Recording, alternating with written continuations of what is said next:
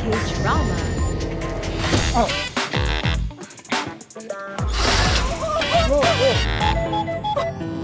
엄마?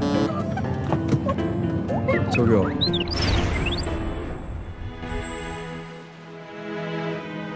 작업 거는 거 아니니까 괜히 설레지 말고. 오늘만 보고 말싸인데 뭐.